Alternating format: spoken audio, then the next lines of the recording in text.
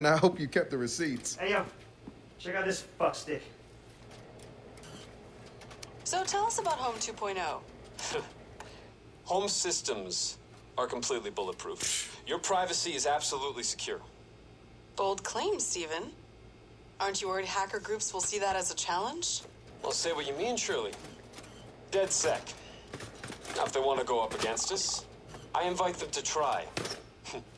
Haum 2.0 is an OS with teeth. Yo, he called us out by name? Yep. He don't know who he fucking with. It's on now. And that's why I've been trying to crack 2.0. There's just one teeny little problem. What? Here, hold this. Stand back. Great.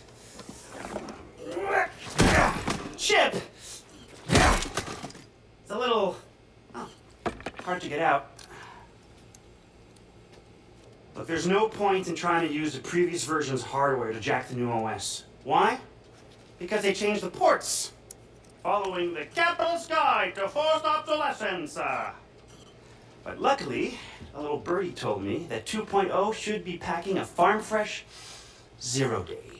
Ooh, now that might just be a shame. Damn right. And that is why you, my friend, are going to hijack me a 2.0 pre-order shipment before some do-gooder white hat tells Haum how to cockblock us.